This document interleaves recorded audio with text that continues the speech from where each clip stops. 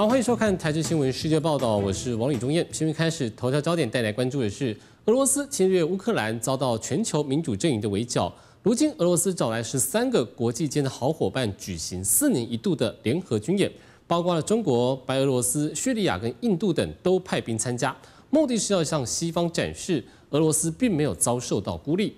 在乌俄跟台海情势升高之际，中国跟俄罗斯联手，被认为是剑指美国。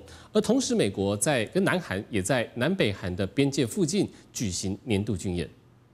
各国军队一字排开，由俄罗斯主导的东方二零二二军演一号登场，为期七天。中国、蒙古国、白俄、叙利亚跟印度等十三个亲俄国家一同参加，地点选在远东地区，以及鄂霍次克海跟日本海，引发日方不满。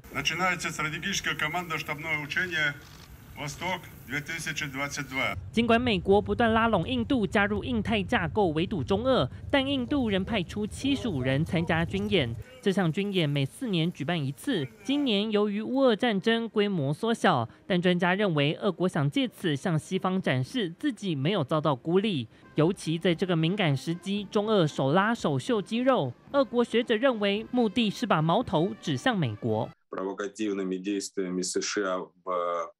По Тайваню, они вынуждают нас еще более тесно взаимодействовать.